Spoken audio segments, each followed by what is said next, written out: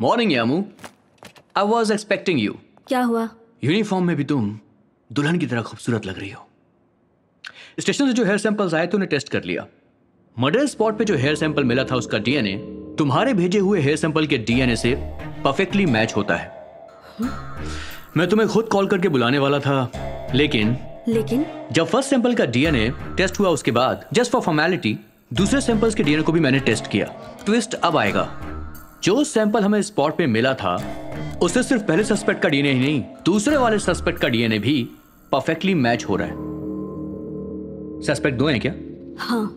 दोनों एक दूसरे की कार्बन कॉपी हैं? यस डीएनए भी एकदम सेम है इसका मतलब तुम्हारी कस्टडी में जो दो लोग हैं वो आइडेंटिकल ट्विंस सिद्धार्थ के पैदा होने के पंद्रह सेकंड बाद मैं पैदा हुआ।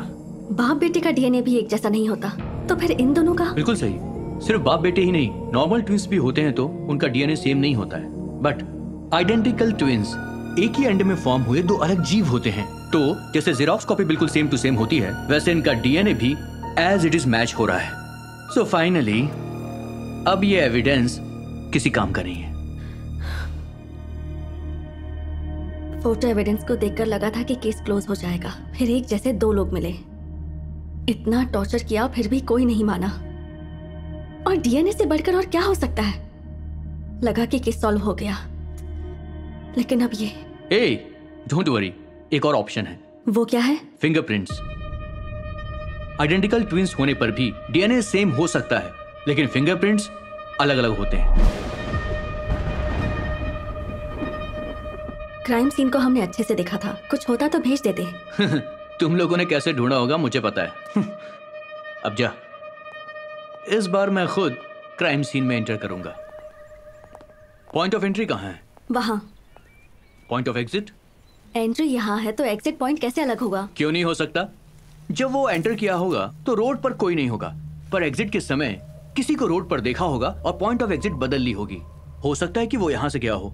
और हमें जो फिंगरप्रिंट्स चाहिए वो यहाँ पर हों। ग्लव्स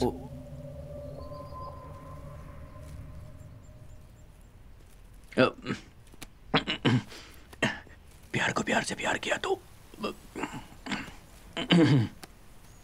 प्यार को प्यार से जब प्यार किया तो प्यार से हुए प्यार में प्यार के साथ ज़िंदगी बिताना असली प्यार कहलाता है। How is it Yamu? बेकार है ना? एकदम बकवास है ना? मुझे पता ही था। एक्चुअली वो इसने लिखा है। मैंने कहा था ना किसी को पसंद नहीं आएगा। आउटडेटेड फेलो यामिनी एक tricky question marriages are made in heaven भारतीय मैट्रिमोनियल डॉट कॉम। तुम्हारी खूबसूरत प्रोफ़ाइल को मैंने पहली बार वहीं देखा। I know you are blushing murder तो ऊपर ही हुआ है लेकिन वो भाग कर नीचे ही गया है। No clue point of entry point of exit होने से क्या फ़र्क पड़ता है? सिर्फ़ नीचे से ही क्यों? कहीं से भी भाग सकता है। करेक्ट तुम्हारा पॉइंट ऑफ़ व्यू फॉलो करना बेटर है। ये तो बेसिक सेंस है। कम से कम इतना तो पता होना चाहिए। पहले तो ठीक से कॉफ़ी बनाना सीख ले उसके बाद एडवाइस करना। कब लेकर जा? ब्लडी इंटर्न फॉरेंसिक में मुँह उठाकर चला आया।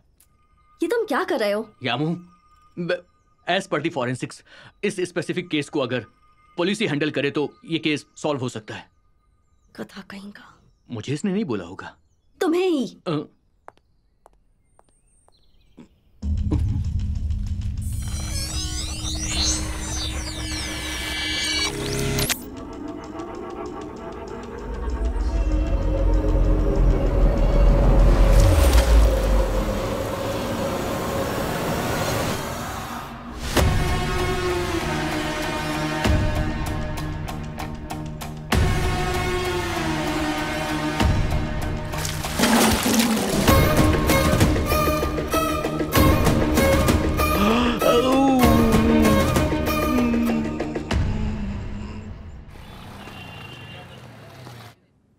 मम्मी पापा की लव मैरिज थी। माँ के घर वाले नहीं माने। घर वालों के खिलाफ जाकर शादी की। माँ एक बैंक एम्प्लॉय थी और पापा लॉयर थे। शादी के छह साल बाद ही दोनों में कंपैटिबिलिटी इश्यूज़ होने लगे। आपसी मतभेद। तुम्हें कितनी बार कहा है तुम्हें पैसे कमा के घर चलाने की कोई ज़रूरत नहीं है। घर में रह के बच्चों की देखभाल करो। मैं कब से गला फाड़ के चिल्ला रहा हूँ? कुछ बोलती क्यों नहीं हो? पागल हो गई हो क्या? तुम डिवोर्स क्यों लेना चाहती हो? एक बार अच्छे से सोच तो लो भारती। पहले ही सौ बार सोच चुकी हूँ। मुझे नहीं लगता कि अब मैं अपना फैसला बदल पाऊँगी। अब सोचने का कोई फ़ायदा नहीं। पापा के पास में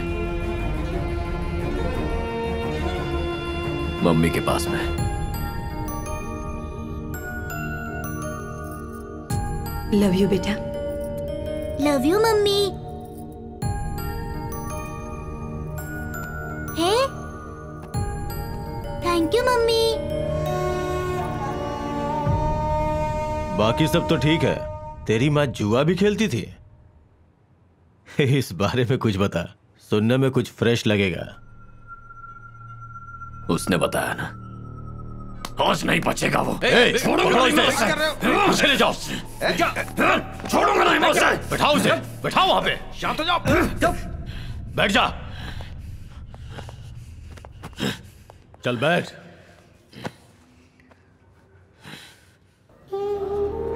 इतने मर्दों के बीच में क्लब में जाके जुआ खेलना कोई मामूली बात है क्या? बच्चों को स्कूल से घर ले जाते हुए तो बहुत माओ को देखा है। लेकिन जुआ खेलने के लिए साथ ले जाना पहली बार देख रहा हूँ। मेरी माँ यूनिवर्सिटी गोल्ड मेडलिस्ट है। ग्रेजुएशन के बाद नौकरी खुद चलकर आई थी बैंक ऑफिसर की। अगर कोई जरूरतमंद हमारे घर आता तो मेरी माँ हर मुमकिन मदद करती। ये सब बताया नहीं उस कमीने ने।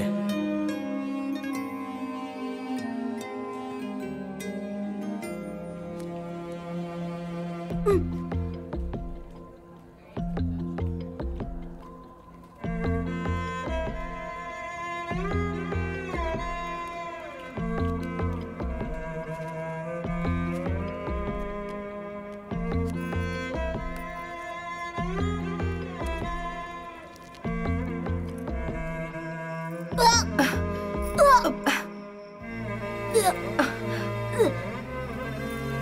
बाहर की चीज़ें खाने से मना किया है ना बेटा?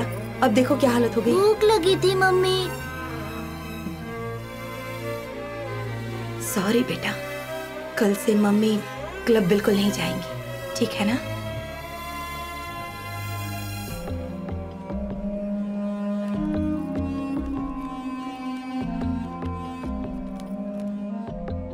माँ को उसकी लत कब लगी मुझे और पापा को समझ में नहीं आया।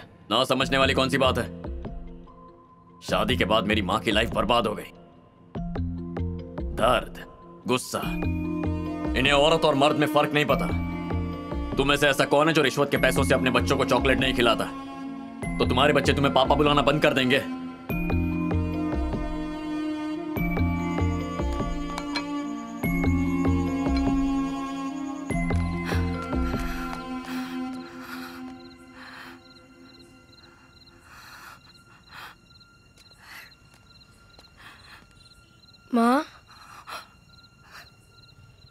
इतनी कोशिश करने के बाद भी मैं हर बार नाकामयाब हो जाती हूँ बेटा। बहुत मुश्किल हो रही है मुझे आदत छोड़ने में। मैं मैं हार गई हूँ। इस महीने की सारी पगार मैं हार चुकी हूँ बेटा। मैं क्या कर रही हूँ ये मुझे मुझे खुद नहीं पता।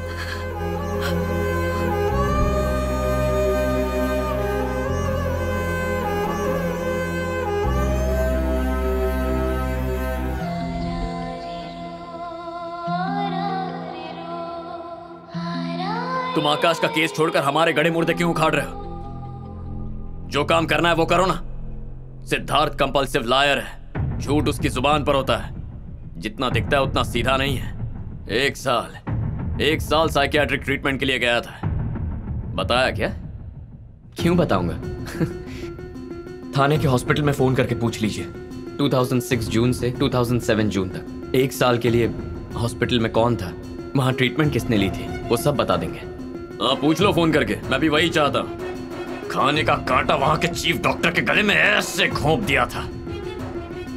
लेकिन वो बच गया। है एक महीने तक आईसीयू में पड़ा था। चाहो तो चेक कर लो। मैं फ़ोन करके पूछ लीजिए मैंने किया था या उसने किया था। इस मर्डर केस में भी क्लैरिटी मिल जाएगी आपको।